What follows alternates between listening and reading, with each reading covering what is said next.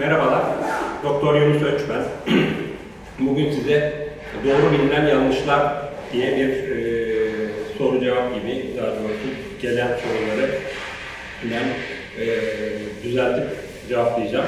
E, genelde sosyal medyadan ya da hastalarımızdan, danışmaya gelen kişilerden aldığımız e, sorulara göre e, arkadaşlarımız bir geri bildirim hazırlamışlar. Onlarla ilgili konuşacağım. Hormon tedavisi boyun fazladan uzamasını sağlar diye bir şey var. Bu ancak ve ancak büyüme plağı kapanmamış e, kişilerde olabilir.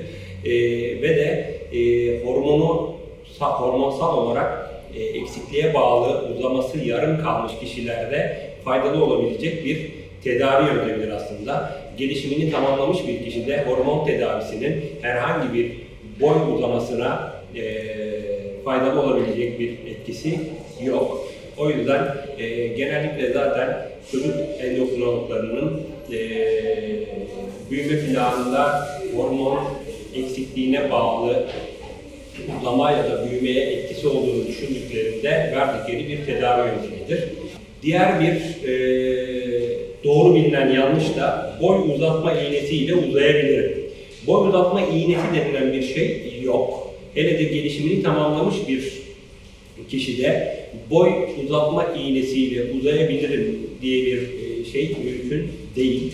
E, boyun uzaması e, fiz dediğimiz büyüme plaklarından, büyüme kıkırdağından olan bir durum. Bunlar kapandıktan sonra, bunlar kemikleştikten sonra bayan ve erkekte farklı dönemlerde kemikleşiyor.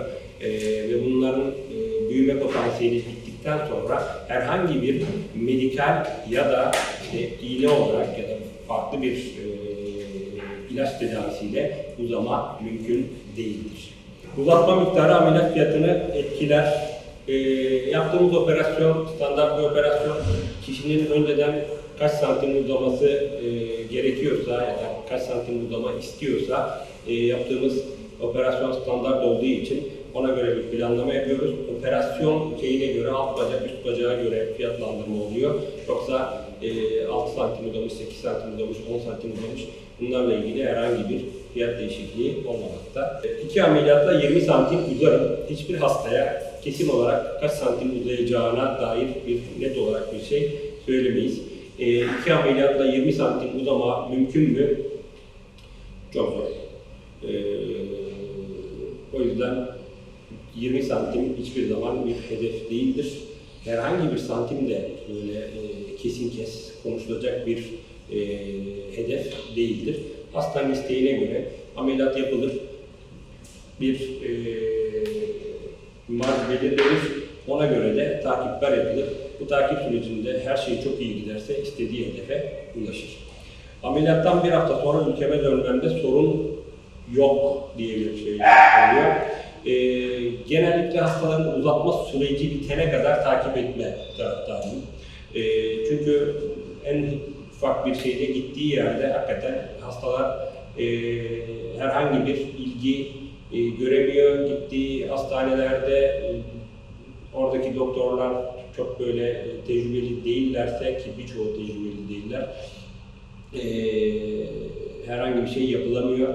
O yüzden hani telefonla bir hastaya ulaşmak, onu yönlendirmektense e, belli bir süre, genellikle de zaten 2-3 ay ülkede kalmaları yeterli oluyor.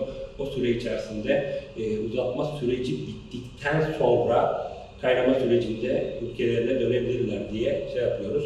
E, bazı özel durumlarda tabii uzaktan da takip ettiğimiz hastalarımız oluyor ama benim kendi isteğim hastaların uzatma sürecinde burada kalmaları.